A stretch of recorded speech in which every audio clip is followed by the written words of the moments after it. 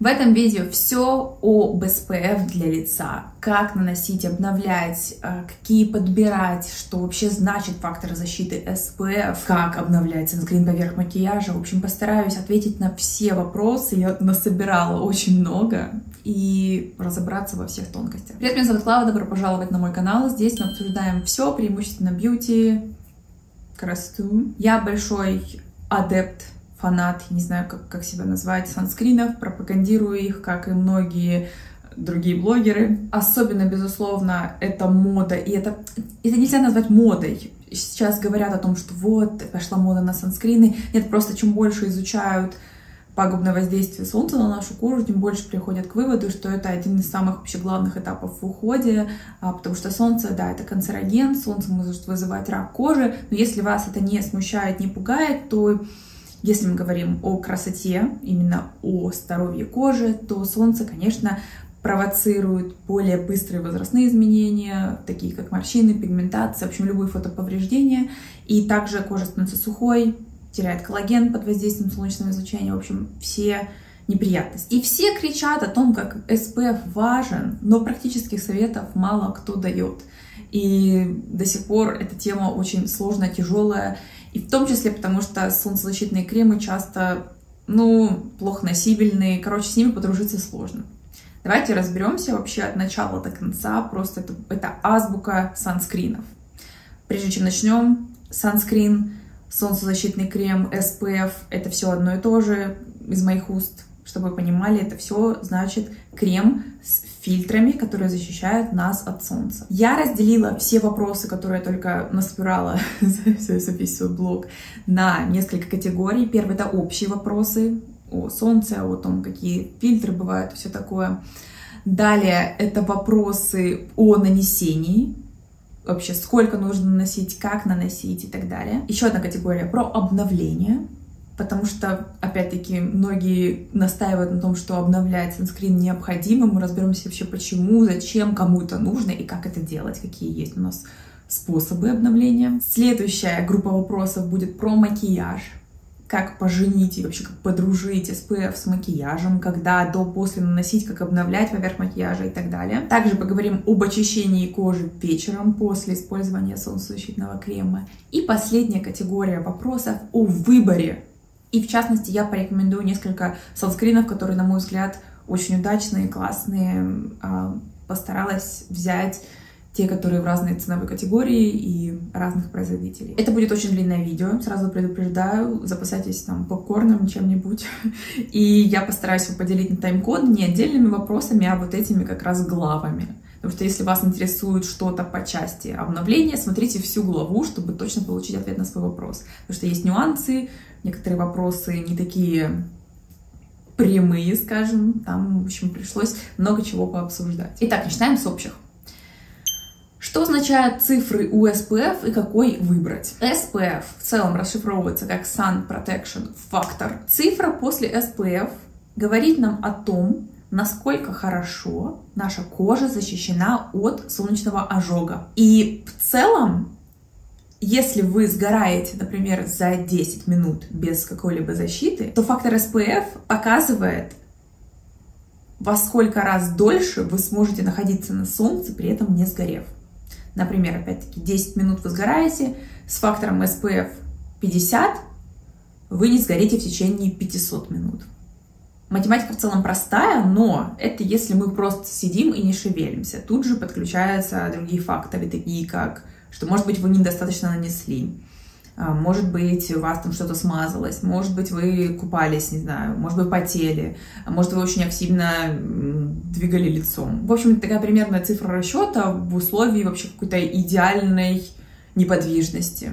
То есть как измеряют SPF на стекле, да, инвитро. Сгораем мы преимущественно от лучей UVB. Это самые пагубно влияющие на нашу кожу лучи, и, в общем, да, от них мы преимущественно защищаемся. Вот именно лучи типа UVB могут провоцировать рак кожи. Вернее, провоцируют рак кожи, они могут. Что же делать с лучами UVA? И, возможно, вы часто видите на санскринах UVA в кружочке или, например, Broad Spectrum или широкий фактор защиты.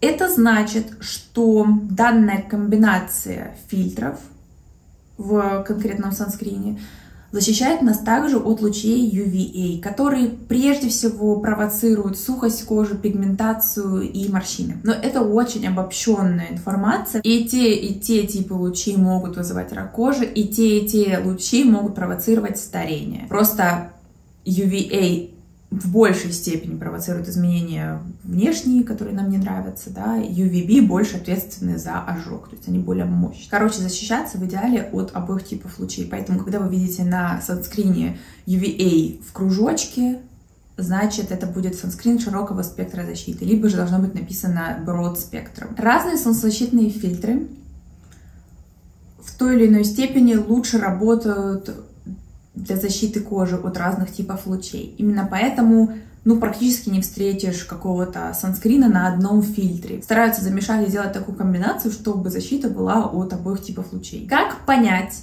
какие фильтры в SPF? Химические либо физические. Вообще это очень дурацкие названия, химические и физические, потому что скорее правильнее называть фильтры минеральными и органическими. Минеральные фильтры или физические — это диоксид титана и оксид цинка. Органические или химические — это просто миллион разных других вариантов, которые вы сейчас видите на экране. Начиная от э, фильтров старого поколения, так называемых типа гомосалата или актиноксейта или уктакрилена, заканчивая новыми э, всякими ювенилами, ювенулами, тиносорбами можете сделать скриншот, минеральные фильтры, органические фильтры. Но это, конечно, не исчерпывающий список, их большое-большое количество, постоянно разрабатываются новые и внедряются новые. Есть также SPF-бустеры. Короче, не забывайте себе этим голову. Главное, запомните, наверное, а, минеральные фильтры и как бы остальное, все, что не это, это органические. Какие вам нужны в санскрине? Очень сложный вопрос. Нет такого, что одни хорошие, другие плохие. Просто есть нюансы. Минеральные фильтры очень хорошо защищают кожу, не вызывают раздражения. Минеральные фильтры чаще всего подходят для очень чувствительной кожи, даже там, не знаю, для детской кожи. Но с ними есть одна большая проблема. Они очень сильный белый налет оставляют на лице ну, или где бы то ни было. Ну, могут больше или меньше налет. Но в целом, да, это вот именно физическая как бы защита. В целом большинству людей подходят органические фильтры, проблем они не вызывают, э, кроме как, эм, возможно, индивидуальной реакции, может быть, чувствительности глаз. Но тоже не все одинаково работают. Например, у меня дико щипит глаза от старых фильтров, от новых а все хорошо, никакого раздражения на коже лица я не намечаю, и глаза тоже не щипит. Все очень индивидуально, поэтому сказать, что подойдет вам, очень сложно такая первая развилка при выборе SPF. Если у вас суперчувствительная кожа, суперчувствительные глаза, у вас светлый цвет кожи, то берите, наверное, что-то на минеральных фильтрах. Во всех остальных случаях я бы посоветовала в первую очередь пробовать эм, химические фильтры. Я уже почти полгода не в России, и если учесть, что в Москве я ходила к косметологу практически каждый месяц, делала разные процедуры, мой образ жизни сильно поменялся. Я больше полагаюсь на домашний уход, на мощные активы, на самомассаж и снова ввела в свою жизнь гаджеты. Честно, я небольшой фанат именно, например, гуаша, потому что, да, вы знаете, что разгонять лимфу немного это неплохо, но в целом в долгосрочной перспективе это не особо влияет на кожу и более глубокие слои. Но если форму гуаша соединить с микротоковой терапией, вот это уже интересно. Встречайте Мио-2. Это микротоковый массажер для кожи лица и тела, созданный для того, чтобы использовать его в домашних условиях, в поездке, в командировке, вообще где угодно. LNL Skin – это японский бренд современных и инновационных девайсов, направленных на омоложение и здоровье кожи. Как им пользоваться? При работе с микротоковым массажером всегда нужно использовать проводник, обязательно на водной основе, на сухую кожу микротоки просто не работают. Можно использовать крем на водной основе, либо же специальный гель, как у меня. Пользоваться очень удобно, как-то интуитивно понятно. Есть разные грани у этого девайса. Что-то удобнее использовать для того, чтобы делать массаж и стимуляцию на коже лба. Вот эти вот грани изогнутые, очень удобные для щек, а узенький уголочек очень классный для проработки зоны вокруг глаз и вокруг рта. Кстати, очень круто, что этот прибор можно использовать на любой части тела. Микроток Лазерная терапия миостимуляция может улучшать упругость кожи, подтягивать овал, уменьшать глубину морщин за счет расслабления мышц и также, что для меня важнее всего, снимать отечность. Я очень склонна к отекам, особенно в первой половине дня. Если мне нужно что-то снимать, либо предстоит какая-то важная встреча, в общем, мне нужно выглядеть хорошо, я просто делаю массаж 5-10 минут с этим девайсом, и потом чувствую себя просто супер круто. У гаджета два режима работы. Холодный синий, который чуть-чуть охлаждает кожу, его очень приятно использовать утром. И красный, который немного нагревает пластины до 45 градусов, также вибрации на нем выше. То есть он чуть лучше подготавливает кожу к следующим этапам ухода. В общем, мне очень зашел этот прибор. Интересная альтернатива ушедшим из России микротоковым аппаратам и массажерам. Если вас заинтересовал он и вы хотите тоже попробовать, то я ставлю ссылку внизу в описании к видео. У них, кстати, есть акция 60 дней гарантии результата. То есть, если вы не увидите никаких изменений, LNL Skin вернут деньги. И обязательно пользуйтесь моим промокодом Клава, он даст дополнительную скидку. Чего не должно быть в составе, на что обращать внимание? На самом деле ответа на этот вопрос нет. Все может быть в составе солнцезащитного средства будет зависеть, опять-таки, от ваших личных каких-то особенностей или там, желаний. Например, я не люблю, когда санскрин с отдушкой, поэтому я смотрю, чтобы не было отдушки. Кому-то вообще плевать на это. А, у кого-то вообще нечувствительная кожа, нечувствительные глаза, ему на отдушку плевать. Или же, например, у кого-то реагирует кожа на какой-то компонент. В общем, избегать что-то нужно только если вам конкретно это вызывает какую-то реакцию. Или же, например, у вас очень жирная кожа. Желательно искать SPF, где не будет масел. Да, по-любому это будет какая-то жирная основа, возможно, какие-то, может быть, там триглицериды или что-то. Но именно конкретно, например, масла, там какое-нибудь кокосовое, не знаю, или еще что-нибудь, а, ну, избегайте. Но это, опять-таки, это очень общая рекомендация, и нет такого, что конкретно запрещенные компоненты. Даже солнцезащитные фильтры с плохой репутацией, которые часто кричат, что там что-то канцерогенное, а, в кровь вообще в систему всасывается и, в общем, очень вредно, это немного такой, такие страшилки, которые нужно оставить просто а, и вспомнить, что все есть яд и все есть лекарство. У каждого компонента в косметике есть побочные эффекты, и они становятся опасными только при превышении дозировки. И в санскрины не добавляют такое количество а, какого-то ингредиента, который потенциально может у вас вызвать какую-то кучу проблем со здоровьем. И когда вот этот гормоноподобные фильтры, это все полное говно, как бы хватит об этом говорить, пожалуйста, перестаньте, люди, кто это мракобесие несет, прекратите. Во-первых, мы не едим санскрины, если бы мы их ели, то да, мы порассуждали, что может быть опасно и небезопасно. В целом, я думаю, что любой крем есть не стоит. А, во-вторых, мы с кожей впитывается, именно попадает в кровь и в систему, но там настолько мизерное количество, что даже смысла нет на это обращать внимание. Проводились исследования на этот счет, и это как бы тоже, опять-таки, не просто какой-то разговор. Тот вред, который мы получаем от солнечного излучения, превышает в огромное количество раз потенциальные риски, если мы будем использовать какие-то типа органические химические фильтры, которые там куда-то проникнут. Здесь же мы плавно перетекли к следующему вопросу. Это какой вред может быть от солнцезащитных кремов? На самом деле я бы сказала, что именно вред — это какой-то дискомфорт в использовании, который нарушает да, наш привычный образ жизни или как-то его, в общем, делает хуже.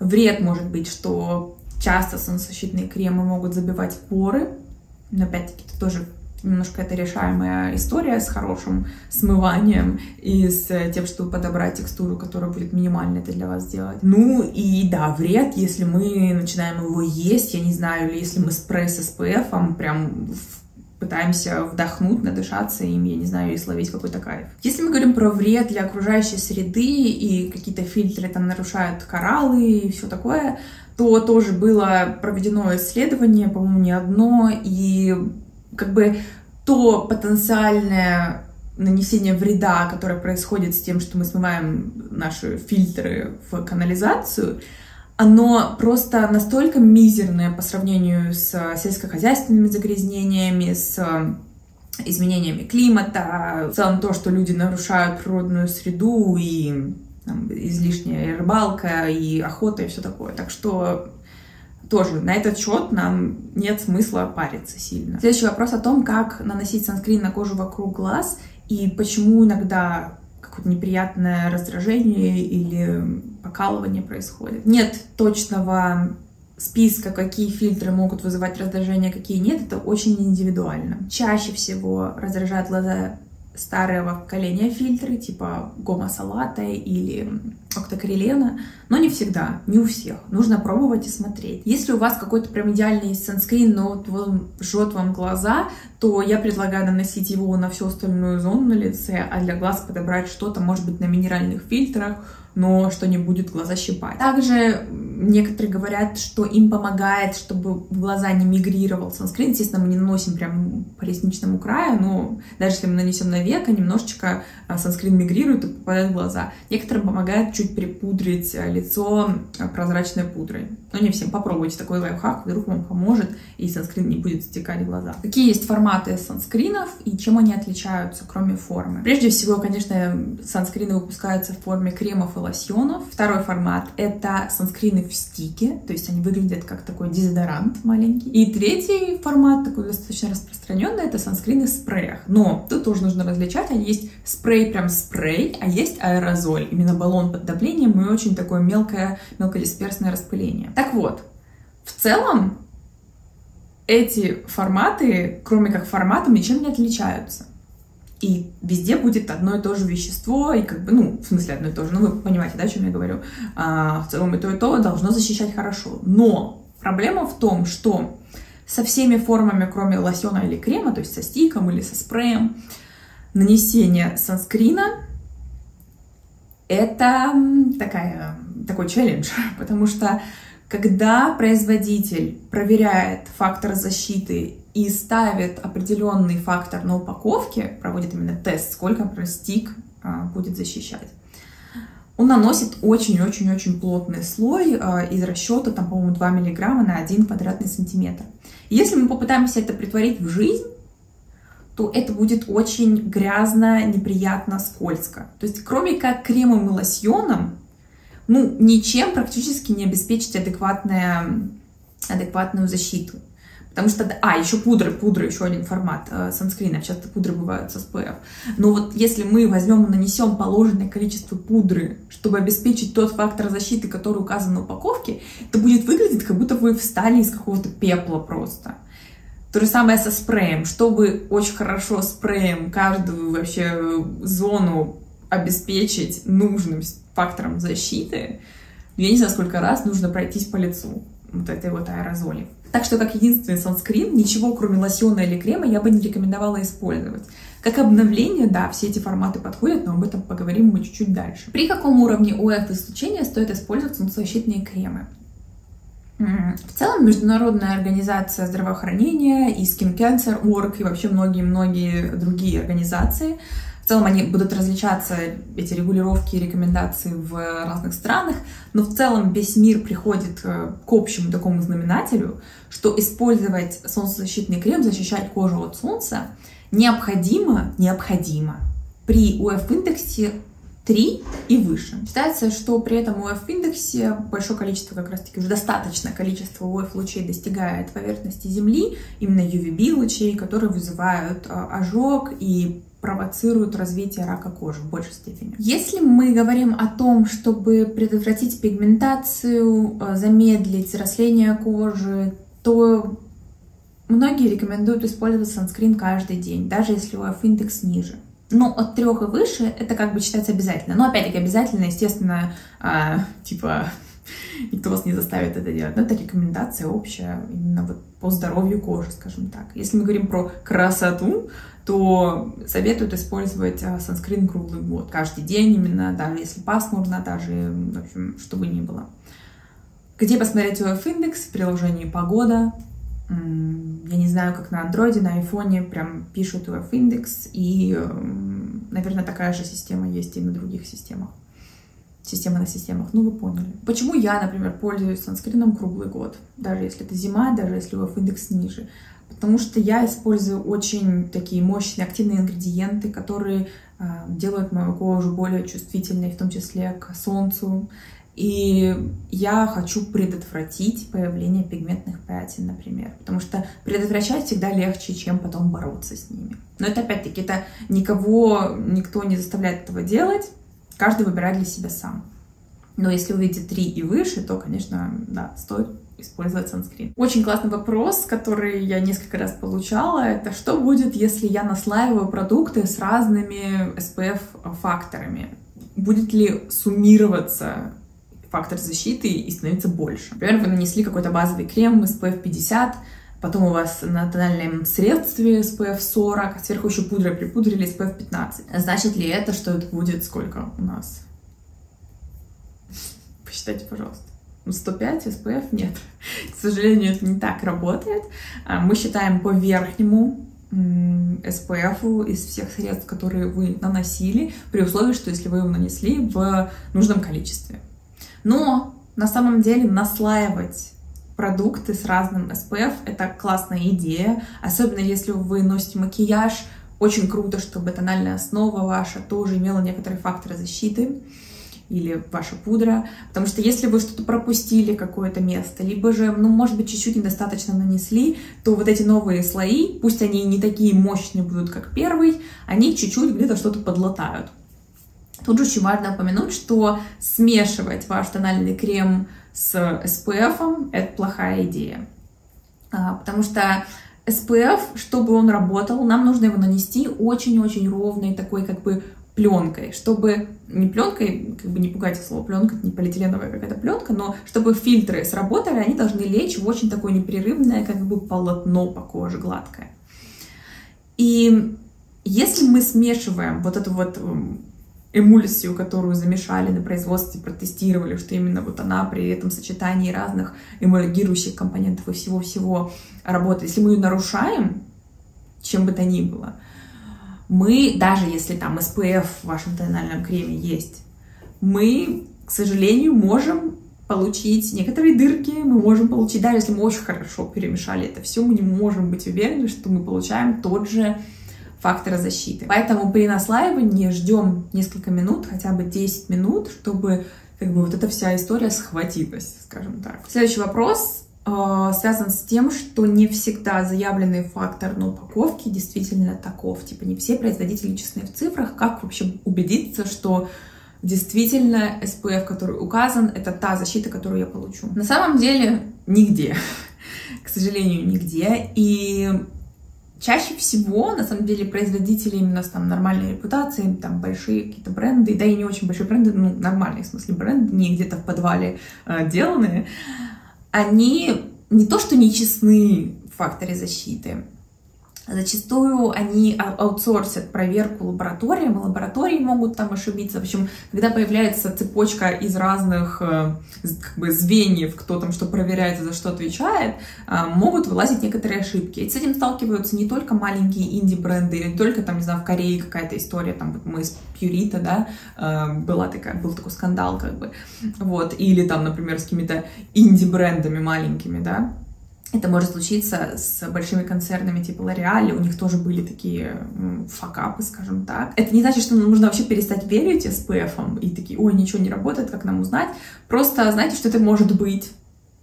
Это может быть так, и постарайтесь провести такой как бы research, когда вы подбираете свой SPF. Например, есть, если мы говорим про корейские э, SPF, то есть некоторые лаборатории, которые с хорошей репутацией, которые делают несколько независимых тестов, чтобы подтвердить э, фактор защиты. Первое, что вы можете сделать, когда вы выбираете какой-то крем, если там пишет процент каждого фильтра, вы можете зайти, есть такие симуляторы э, SPF, это первый, знаете, этап такой на разработке, когда на модели пытаются просчитать, сколько примерно будет SPF. Это супер примерный расчет, но можно его произвести. И вы просто забиваете там какой процент какого фильтра и смотрите, какой SPF получается на выходе. Можно делать так, если вы прям сильно хотите заморочиться на этот счет. Но в целом я бы предложила немножко подрасслабиться и, ну, как бы постараться доверять. Просто покупать производителей, которые вас больше вызывают доверие, не какие-то вообще непонятные no name бренды, непонятно откуда взявшиеся. Следующий вопрос. Может ли дешевый крем с солнцезащитным фактором быть хорошим? И короткий ответ – да, конечно, но другой вопрос, что мы подразумеваем под словом «хороший». Да, он может хорошо защищать, и сто процентов, скорее всего, будет. Например, а, всех по-любому в детстве, ну, многих, ладно, не всех, а, мазали такими прям жесткими какими-то кремами из масс-маркета, типа там каким-то гарниром, они прям очень плотные, и да, они хорошо защищают. Другой вопрос, что, возможно, они не очень носибельные в обычной жизни. То есть каждый день не нанесешь такой слой жесткий. Эм, а когда ты ребенок, и ты, не знаю, там а, по песку и по морю туда-сюда бегаешь, тебе вообще все равно, как ты выглядишь и сколько на тебе чего. Поэтому, конечно, дешевый санскрин может быть хорошим, плане защиты, но, может быть, по текстуре он не будет очень комфортным. Но тоже не сто процентов. Кому-то совершенно комфортно. Например, есть санскрин супер популярный мое солнышко, который стоит, по-моему, 150 рублей, и как бы он совершенно прекрасный. Далее, может ли солнцезащитный крем флюид испортиться и как понять, что он испортился? Ну, во-первых, прежде всего смотрим на срок годности и не используем санскрин, если срок годности выше, потому что, возможно, стабильность фильтров э, все, как говорится, на этом их полномочия все. Также Конечно, может испортиться санскрин, если вы его хранили где-то в очень жарком помещении. Он может испортиться даже до того, как выйдет э, срок годности, поэтому храним э, в прохладном, э, темном, желательном месте. Если мы говорим про пляж, то лучше положить куда-то в сумку, в общем, не под открытыми лучами солнца, чтобы бутылка лежала или тюбик. Влияет ли тон кожи, тип кожи именно по цвету по Фицпатрику э, на то, какой фактор защиты нужен. И да, и нет. Э, в целом, было раньше большое-большое заблуждение, что если тон кожи э, более там, смуглый или вообще человек чернокожий, то ему не нужен санскрин. Это заблуждение, потому что э, обгорать могут люди даже с очень темным цветом кожи, и защита нужна всем. Другой вопрос, что тем, у кого э, рыжие волосы, белая кожа, защита нужна еще больше, потому что они, скорее всего, быстрее обгорят. И как бы я в целом сказала бы, что всем нужен фактор защиты минимум 30 для города и 50, если мы говорим про активное солнечное воздействие, типа мы на пляже где-то или, не знаю, там в горах. Поэтому в целом сильно влиять на то, какой у вас тон кожи, выбор SPF, ну, не будет. Следующий вопрос был про веснушки а, и пигментные пятна. Что будет, если использовать санскрин? Они что, пропадут и не будут появляться? Вообще, как это работает? Вообще, веснушки — это тип гиперпигментации, такая, такой же тип, как мелазма. Ну, в смысле, есть разные типы пигментации. И веснушки, пигментные пятна у кого-то как бы становятся более бледными зимой, да, и у кого-то они темнеют э, летом после воздействия солнца. У кого-то они круглый год, э, неважно, какое было воздействие, загар, остаются видимыми. И чаще всего именно так это происходит. И если вы начнете использовать санскрин и будете это делать очень ответственно, то, скорее всего, просто у вас больше новых не появится. Э, или появятся они намного с отсроченным как бы сроком. Отсроченный срок, вы поняли. Но чтобы они пропали, санскрина недостаточно. Вот. Э, с пигментацией, к сожалению, не так-то просто бороться. Есть различные активы, если мы говорим про наружный уход, есть различные аппараты, фототерапия, лазерная терапия, которые работают с а, разными типами пигментации. И тут нужно, конечно, если вы хотите от них избавиться, обсуждать это с вашим косметологом, с вашим врачом. Вот. В целом, никаким образом нельзя сказать, что там пигментное пятно это какой-то вред. Нет, это в большей степени просто выглядит не очень, как бы, может нравиться или не нравится, да, то есть именно эстетическая какая-то эстетический какой-то дискомфорт, может быть, или вред. Но в целом, короче, санскрин просто предотвратит появление новых или усугубления. Вот. Также несколько вопросов про одежду. Во-первых, про одежду а, с фактором защиты от солнца. Если вы не знали, не вся одежда нас будет защищать просто от э, солнца. Если вы идете в белой футболке под палящим там каким-то УФ индексом 8, то как бы, скорее всего, вы все равно обгорите под ней. Потому что примерно рассчитано, что белая футболка стандартная, стандартной плотности имеет SPF, UPF, вернее, э, фактор защиты где-то в районе 5-7, то есть это очень мало. Поэтому есть специальные ткани. Чем более плотная ткань, скажем, и чем более темный цвет ткани, тем больше в целом фактор защиты будет. Но есть прям ткани, которых измерен фактор защиты. Есть бренды, которые выпускают такую одежду. Например, у Uniqlo часто бывают э, специальные коллекции с э, защитой от солнца. Ну и в целом есть... У нас, конечно, не супер популярно в России, потому что у нас не такая проблема с этим большая. Например, в австралийских брендов много, у них там круглый год ядреное солнце, а много американских брендов. Ну, в общем, это понятно почему. Я бы советовала, если мы говорим о том, чтобы там идти на пляж, просто хорошо закрывать себя как-то дополнительными слоями, но сильно не париться, если там UPF индекс или нет. Если у вас только не было истории там с раком кожи, конечно, тут-то безусловно вам нужна вся эта защита максимальная, просто супер как бы э, именно конкретно сделанные под это вещи. И очень популярный вопрос, как отстирать SPF от белой одежды.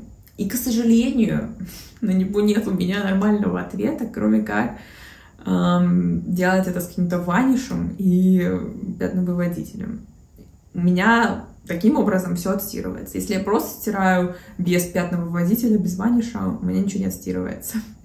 В общем, если у вас есть какие-то лайфхаки, как отстирать SPF от одежды, просто напишите внизу, потому что вот эти вот а, желтые следы, естественно, всех бесят хочется, чтобы их не было. Следующая категория вопросов — это вопросы о нанесении. Первое. Как правильно наносить SPF для лица? Для того, чтобы получить заявленный фактор защиты на упаковке, вам нужно нанести 2 мг на каждый квадратный сантиметр. Никто не хочет, конечно, заморачиваться и измерять. И зачем нам это вообще надо? Давайте жить, а не просто над чем-то очередным беспокоиться. Но если измерить, это около где-то трети чайной ложки, может быть, половины чайной ложки. Легче мерить, мне кажется, не таким образом, а по правилу двух пальцев. Возможно, вы о нем слышали. Наносим санскрин от основания пальца до кончика, указательный и фак. Средний, средний. Я забыла, как он называется. Естественно, это должна быть не очень тонкая линия, но такая нормальная, нормальная линия. И этого количества должно вам хватить на лицо и на шею. Если кажется, что это очень много, можно нанести сначала один палец, походить погулять, через 20 минут нанеси еще один. Так обычно проще. Что важно? При нанесении важно не втирать санскрин. Как я уже говорила в этом видео, э, санскрин хорошо работает, когда он лежит ровный такой пеленой на нашем лице ровным полотном. Тогда хорошо фильтры работают, в общем. И если мы будем тереть, мы, естественно, будем нарушать этот слой, он будет неровным. Поэтому такими разглаживающими движениями по всему лицу, везде, не забываем вот здесь вот, вот эти места, не забываем места вот здесь под бровями э, и в центре возле носа. Короче, хорошо-хорошо везде нужно ровным слоем нанести. Это достаточно много продукта, я понимаю. И если у вас кожа не сухая или даже ненормальная, то чаще всего с этим возникает проблема. И кажется, что лицо выглядит очень жирным, все это очень тяжело, непонятно, неприятно. И да, я посоветую кремы, которые более легкие, в целом, как выбирать более легкие кремы чуть дальше в этом видео, но, к сожалению, все равно мы так или иначе с этим столкнемся, если жирная кожа. Что можно делать, чтобы снизить эту жирность или видимость эм, этой вот жирности? Проблема в том, что большинство солнцезащитных фильтров, если не все, они жирорастворимые, они обязательно должны быть в такой эмульсии, то есть мы не найдем ни одного, наверное, санскрина, который будет, ну, просто на водной основе. Такой прям гель-гель. Нет, такого не бывает, все равно должна быть что-то жирное. Один из советов — это после того, как санскрин уселся, типа минут через 15 после нанесения, немного припудрить лицо прозрачной пудрой. Больше, кроме этого, к сожалению, никаких особо советов нет. А, и как бы приходится терпеть. Ну, и, конечно, подбирать более легкие текстуры, в целом это возможно. Ну, и часто люди с жирной кожей стараются... Ну, я, я понимаю, у меня самой была жирная кожа, очень, там, до того, как я ретиноиды пила и начала их наносить на лицо. Um, я понимаю, что хочется прям вот матовый, хочется, чтобы все было стянуто. Вот есть такой перекос у людей с жирной кожей, потому что так бесит этот весь жир, что, ну, лучше пусть все это будет в сторону сухой и какой-то вообще стянутой кожи. Но тут же я бы посоветовала не искать санскрин именно с матовым покрытием, а, ну, финальным, а все-таки дать шанс более таким каким-то светящимся основам, потому что когда вы начнете жиреть, как бы, не будет такая большая разница между матовостью и жирностью. То есть, когда все такое чуть-чуть светящееся и более, скажем, сатиново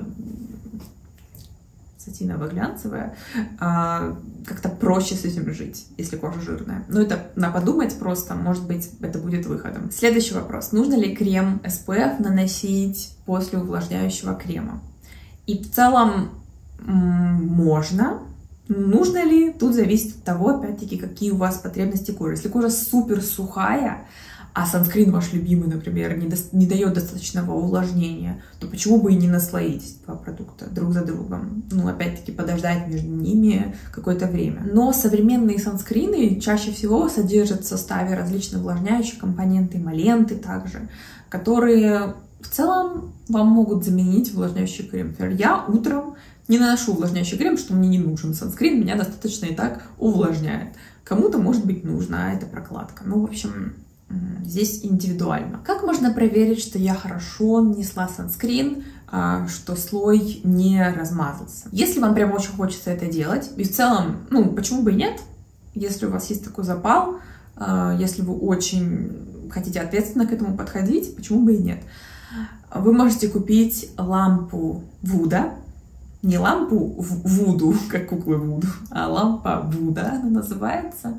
А, они на самом деле есть различных э, мощностей, различных э, ценовых категорий, но, в общем, я свою покупала оставила ее, кстати, в Москве, потому что использовала только для видео, для каких-то.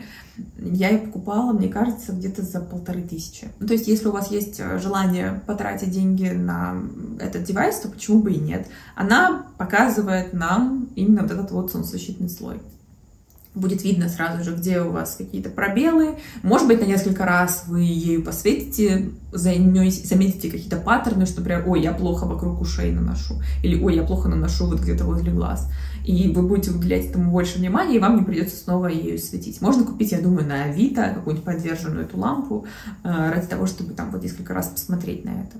Ну, или же каждый раз смотреть. Либо же, если вы очень любите а, различные эксперименты, то в целом это очень интересно. Надо смотреть, как это все выглядит, какой санскрин как ложится. Кроме как, а, таким образом, я не знаю, как еще проверить, хорошо ли равномерно нанесен санскрин. Далее, стоит ли наносить санскрин дома? И здесь а, я на самом деле а, потрясающий социофоб и практически не выхожу из дома. Ну ладно, я просто еще, как не знаю, я очень люблю сидеть дома. А, и я все равно наношу санскрин. Но я бы сказала, что для большинства людей дома наносить санскрин не надо. Тут тоже нужно смотреть на все очень индивидуально. Насколько у вас много окон дома? Где вы живете? Насколько у вас вообще, какая у вас солнечная сторона или не солнечная? А как близко вы сидите к окну?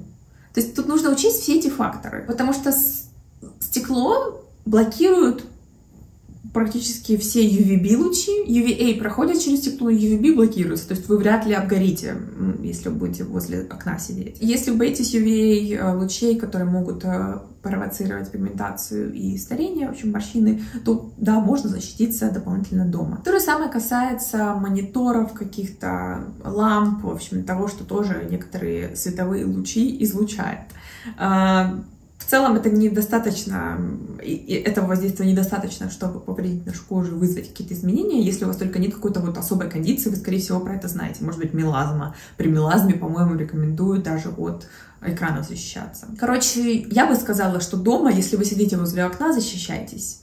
Если нет, если вы круглыми днями просто дома, у вас немножко как склеп такой, то как бы зачем? Тут же, в какое время дня уже можно не наносить санскрин? Смотрим на UF индекс. Чаще всего в районе 6 часов уже UF индекс 2 и меньше, даже в самых солнечных местах. А, вот. И как бы, если опять-таки вас не страшит пигментация, то можно не использовать. Или если вы на работе с 9 до 6 не выходите на обеденный перерыв никуда, у окна не сидите, то, возможно, возможно, вам вообще не нужен будет санскрин. Чисто с точки зрения того, чтобы обгореть и получить вот это излучение UVB-лучей, скорее всего, вы защищены. Но тут нужно понимать, что Если вот вы реально ответственно там до 9 и после 6 только на улице, то как бы окей. Но если начинается история, что я, ой, я выбегу там в магазин на обеде, ну как бы на обеде вы выбегаете в самое жесткое солнце. Если у вас нет солнцезащитного фактора никакого на лице, ну, как бы, скорее всего, будут некоторые последствия. Ну, и кошмарить я тоже никого не хочу. Переходим к теме обновления. Как лучше обновлять санскрин? Зачем? И какими средствами. Во-первых, давайте разберемся, зачем обновлять санскрин. Чаще всего, в большинстве, в подавляющем большинстве случаев, мы обновляем санскрин. Не потому, что фильтры перестали работать, есть уже много фотостабильных достаточно фильтров, а, и как бы, ну, типа, зачем, да, если они еще работают, если вы там, не знаю, в воде не купались. Проблема в том, что мы не сидим на месте, и наша кожа продолжает как бы жить, выделять пот, э, выделять кожный секрет, и наша мимика, мимика и все такое нарушает вот этот вот слой защитный. И в среднем через 2 часа слой, который мы нанесли санскрина, уже неравномерный.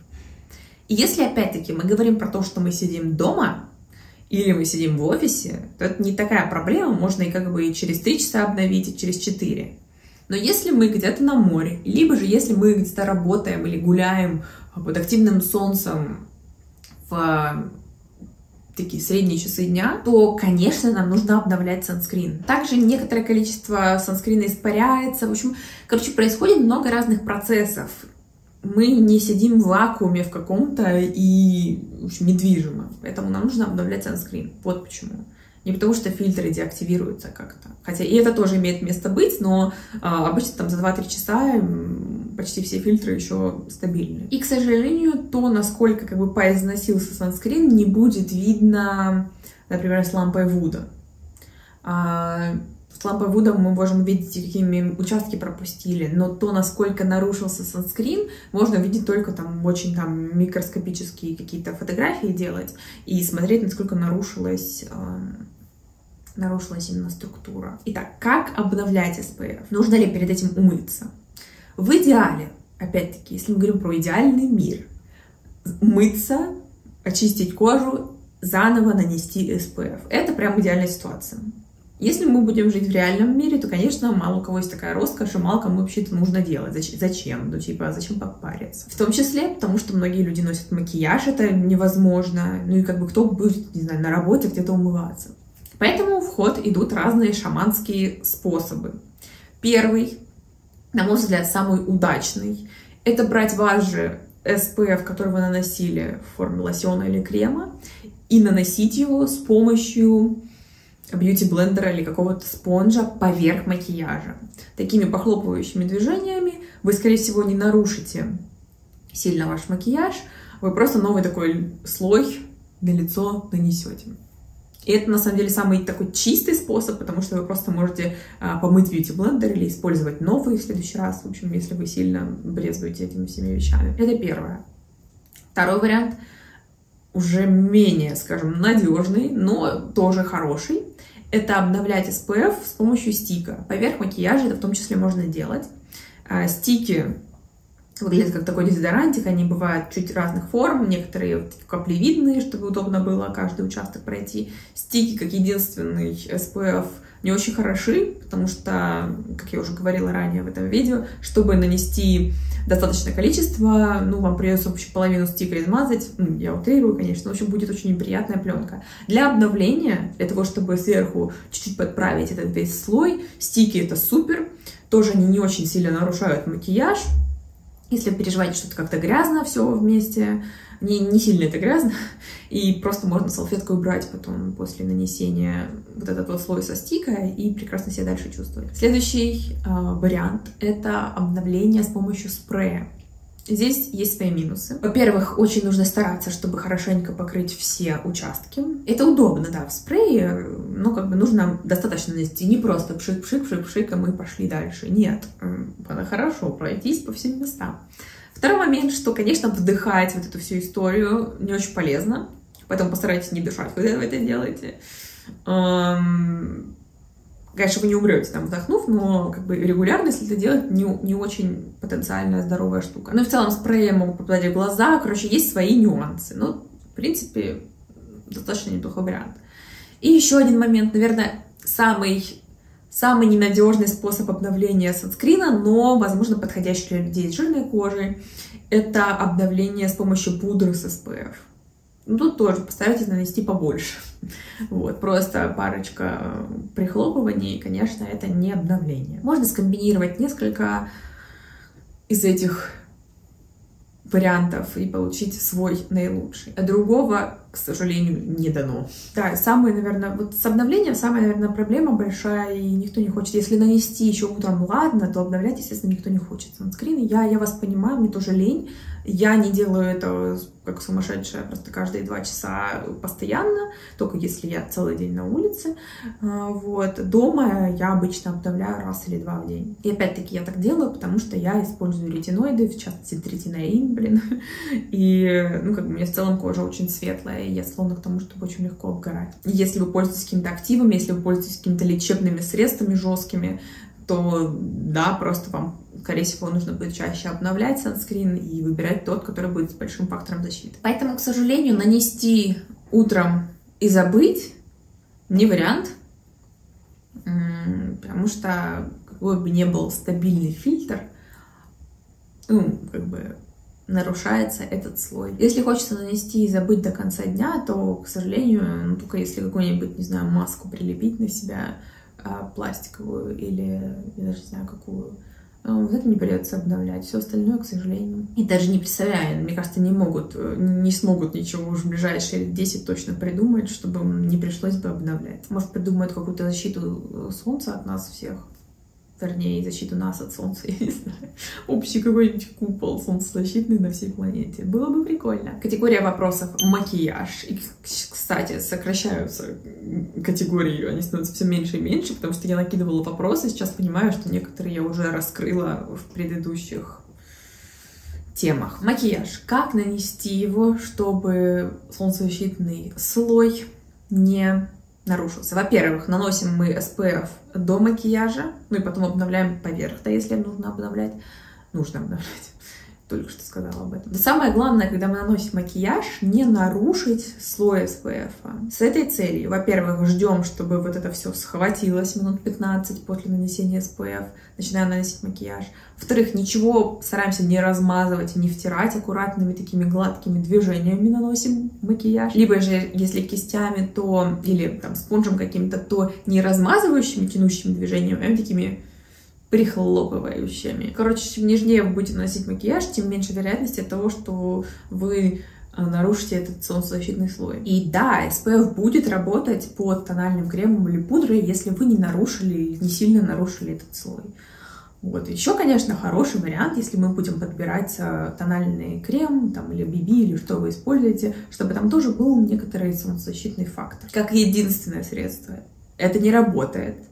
Потому что, чтобы обеспечить нужный фактор защиты, вам придется нанести в два пальца э, вы столько наносите тонального крема на лицо, попробуйте когда-нибудь нанести такое количество, это будет выглядеть ужасно, скорее всего, прям супер маска неносибельная. Мы наносим там в 10 раз меньше того количество которого, которое необходимо для того, чтобы SPF-фактор получить. Но как дополнительная история, это неплохо. Нужен ли бальзам для губ с SPF?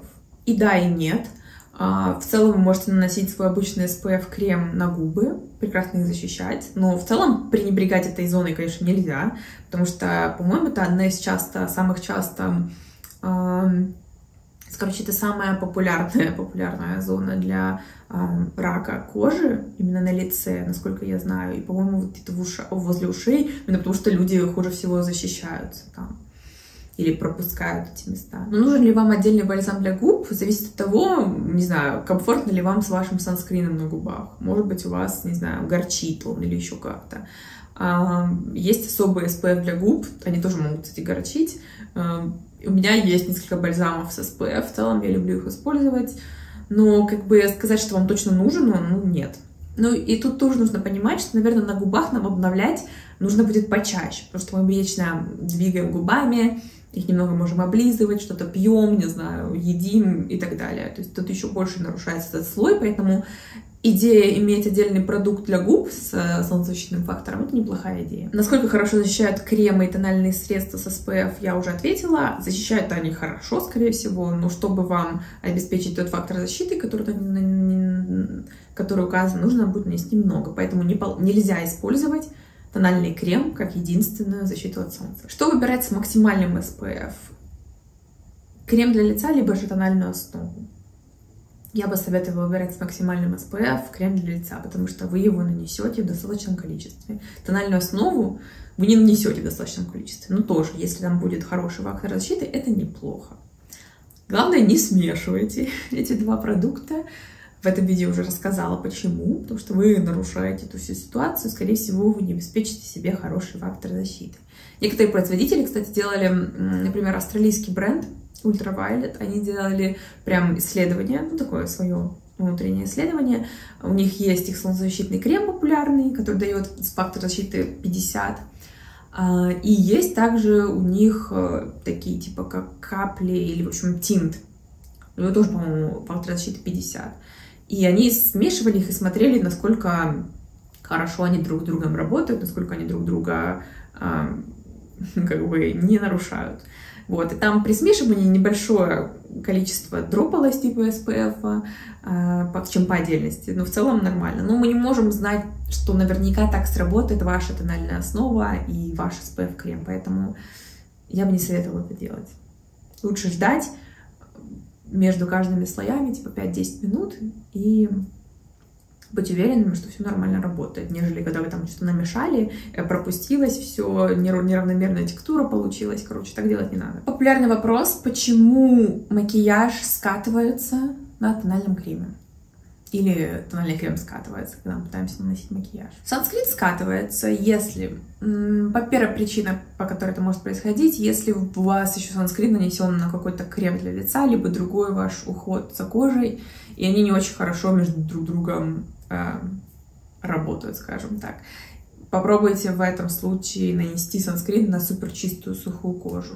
Возможно, эта проблема пройдет. Еще одна причина, почему это может происходить, вы сильно трете то есть прям втираете эти продукты, они аккуратно их разглаживающими движениями наносите. Еще одна причина, по которой санкрин может скатываться, если он очень быстро высыхает. Некоторые санкрины очень быстро высыхают. В этом случае наоборот, лучше наносить на хорошо увлажненную кожу. Попробуйте, в общем, эти э, причины и следствия, в общем, и посмотрите, как это будет все. Ну и часто, если кожа просто жирная, то да, эта проблема есть, к сожалению.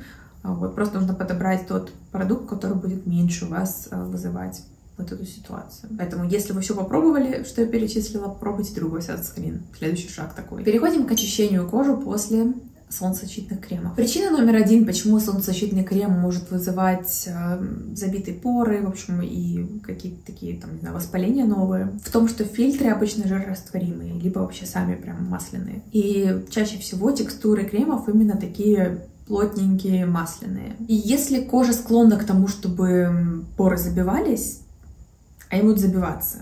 И нам нужно очень хорошо смывать санскрин с кожи, чтобы этого не происходило. Один был тест проведен, достаточно популярный такой, где смотрели, насколько хорошо а, разные типы очищающих средств смывают конкретно санскрин. И этот тест показал, что лучше всего санскрин смывают гидрофильные масла. И это имеет вообще смысл, да, потому что как бы масла растворяют масла, очень все хорошо работает. И если мы используем гидрофильное масло первым этапом очищения, а затем вторым этапом гель или пенку, то это вообще идеальная комбо. Это прям золотой стандарт. Лучше всего двуступенчатым очищением вечером смывать а, санскрин с макияжем и потом второй раз двуступенчатым очищением смывать санскрин с макияжем. Но в целом ваш обычный гель для умывания или пенка тоже смоет санскрин. скорее всего, очень успешно, особенно если вы два раза будете его использовать. Потому что поверхностно-активные вещества — это молекулы из таких двух частей, э, липофильные и гидрофильные. То есть они как бы липофильные жирчик захватывают, а гидрофильные с водой смываются. Они такие, как сперматозоидики выглядят условно. Поэтому, если у вас гидрофильного масла нет или вам не подходит гидрофильное масло, то ваш санскрин смоет и ваше обычное очищающее средство.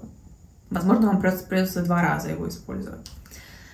И в то же время очень нехорошая ситуация, если мы будем смывать санскрин только гидрофильным маслом и не заканчивать это все э, гелем или пенкой. Потому что в таком случае вы недостаточно хорошо будете очищать кожу. Короче, я бы сказала, что варианта два, либо гидрофильное масло плюс гель или пенка, либо два раза гель или пенка. Вот и все. Мицеллярная вода тоже подходит э, для этих целей, если как двуступенчатое очищение мы будем брать, но она хуже чуть-чуть справляется, чем гидрофильное масло. Фух, теперь выбор SPF. Самое, наверное, важное, э, я бы сказала, что, ну вот нет какого-то прям правила, как выбирать. И для каждого будет свой SPF какой-то лучшим. Лучший SPF это тот, который вы будете использовать. Пусть там будет чуть меньше защиты, чем в идеале должна быть, но если вы будете нормально его использовать, обновлять регулярно, если вам будет комфортно с ним, если не будет у вас не знаю, щипать глаза и вызывать какой-то ужасный ужас, лучше, я всегда голосую, лучше пусть это будет какой-то SPF 30, нежели SPF там, 50, который вам, ну просто, с которым будете страдать. Но не значит, что с SPF 50 вы будете страдать. Все зависит от крема, и от ваших предпочтений, от вашей кожи. Короче, при выборе SPF два вопроса первых. Первое — это что вы собираетесь делать, для каких целей вам нужен? Вы просто в городе, э, где не особо высокий UF индекс, будете носить его, не знаю, там индекс, UF индекс 3 или там 5, либо же вы едете куда-то, я не знаю, под раскаленные лучи солнца в Марокко, и как бы вам нужна прям очень хорошая защита. Это первый вопрос, который стоит задать себе. Либо же, если, не знаю, вы будете весь день где-то под, под открытым солнцем играть в какой-то футбол, я не знаю, ну, например. И здесь мы смотрим, какой нам нужен фактор защиты при этом всем, да. Второе, это насколько вам комфортна текстура и насколько он подходит вам по бюджету. И, пожалуй, на этом все. Вот это самые главные моменты. Первая отправная точка. Далее мы думаем о том, ага, у меня суперчувствительные глаза, а, светлая кожа, мне пофиг, э, там, не знаю, что там будет какой-то белый налет, мне главное, чтобы хорошо защищал и не щипал глаза. Смотрим в сторону минеральных санскринов, и, как бы, скорее всего, из них что-то вам подойдет. Если у вас нет такого запроса, пробуем что-то из э, средств на органических, на химических фильтрах. Следующий момент – водостойкость. Нет ни одного санскрина, который бы был бы 100% водостойким, но есть как бы влагостойкие фильтры, которые чуть более как бы лучше держатся, скажем так. Если есть эта пометка water какой-нибудь resistance, что-нибудь такое, то это, конечно, неплохо, особенно если вы собираетесь проводить много времени на пляже или там у бассейна, где вы будете контактировать с водой. Все равно нужно будет обновлять, но просто не так дрожать, что там все смылось за одну секунду, вы обгорите. Далее, чисто ваши преференции. Какая вам нравится текстура? Насколько вам, там, не знаю, приятен аромат средства, если есть отдушка, или вам не нужна отдушка? Насколько, не знаю, вам комфортно покупать этот продукт за такую цену, которая имеется? В общем, взвесьте все факторы, что вам нужно, и это будет как бы формула того, какой вам нужен санскрин. На самом деле сейчас современный санскрин, особенно корейцы, преуспели в том, чтобы делать санскрины суперкомфортными, по текстуре, кажущимися прям вот какой-то эмульсией или флюидом, практически не ощущаемся, не ощущаемся. Вы увидите к концу видео, я уже не могу разговаривать. Короче, вы поняли.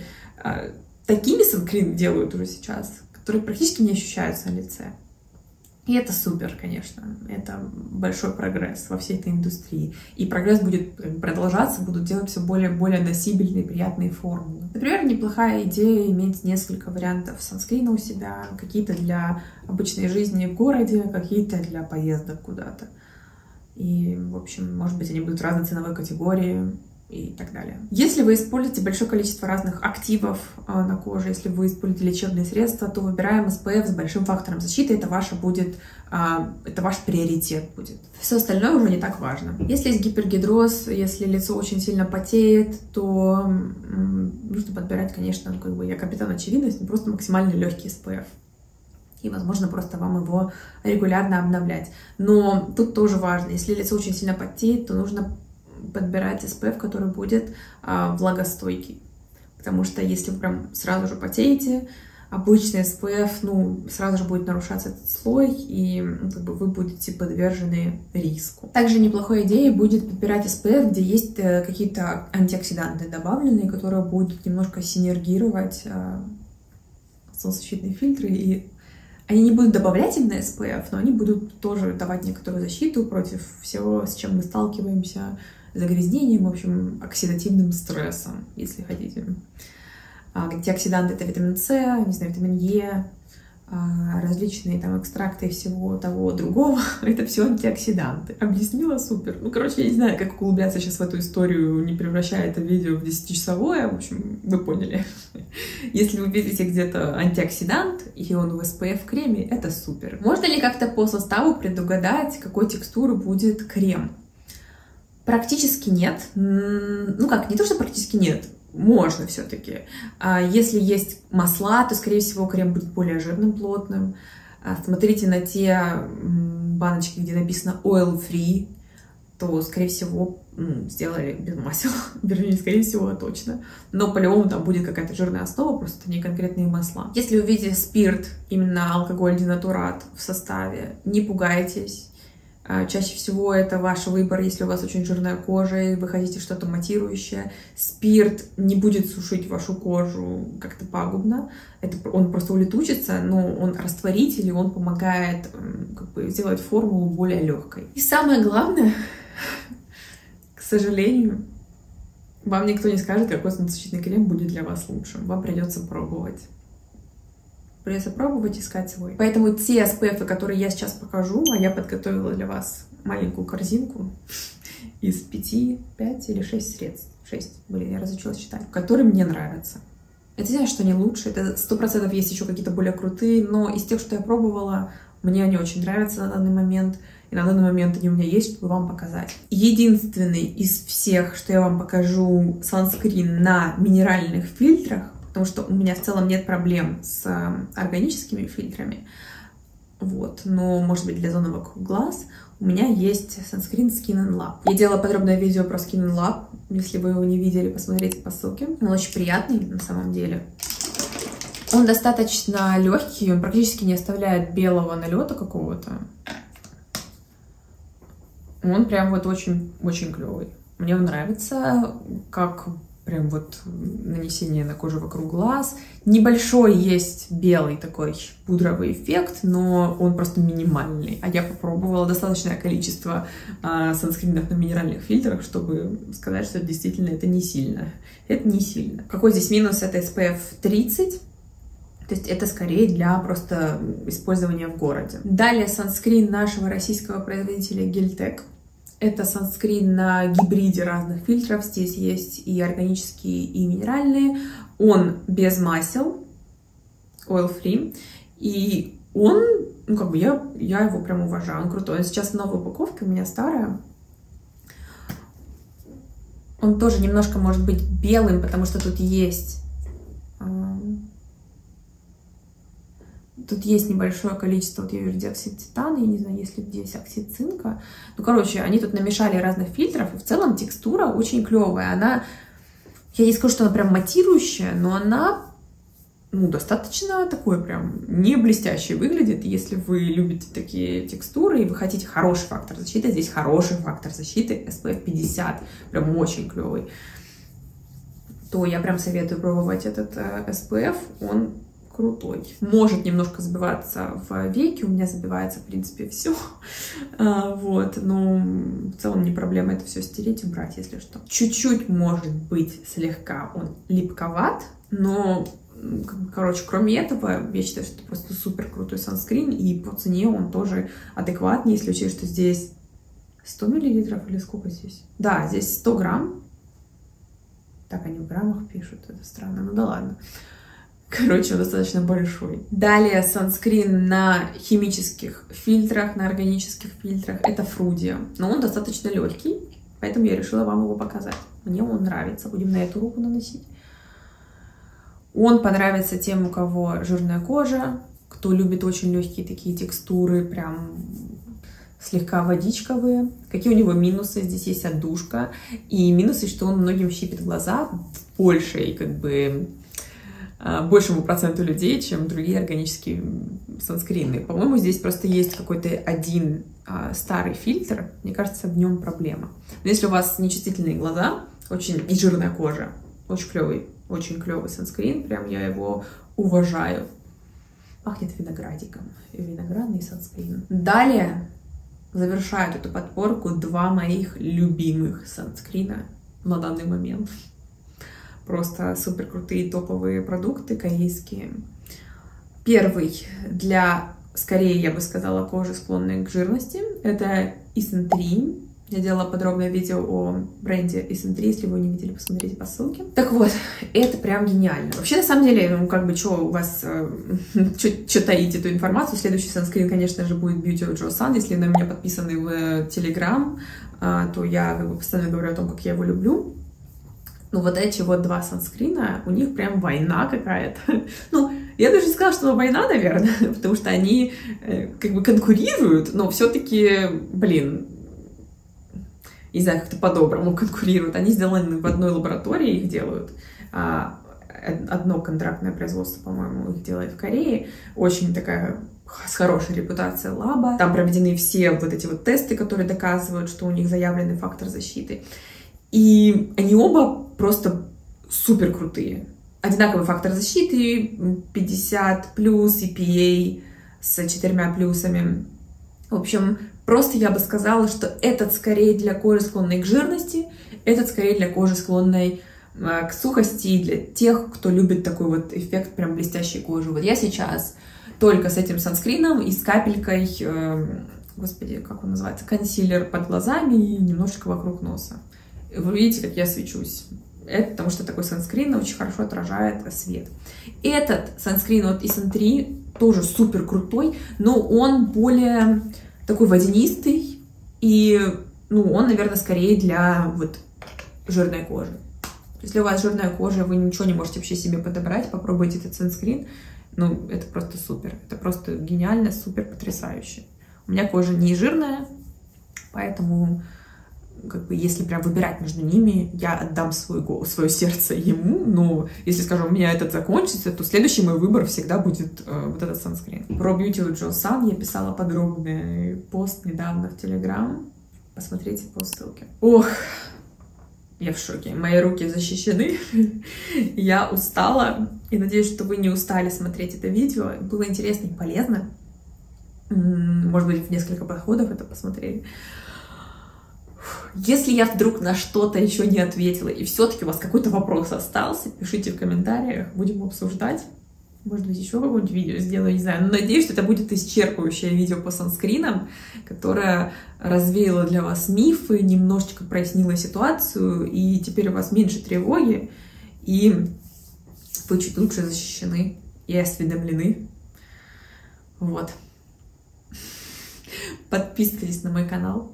Ставьте лайк этому видео, если оно было для вас полезным. А, подписывайтесь на мой телеграм. Вот. Я пошла есть. До свидания. Защищайтесь от солнца.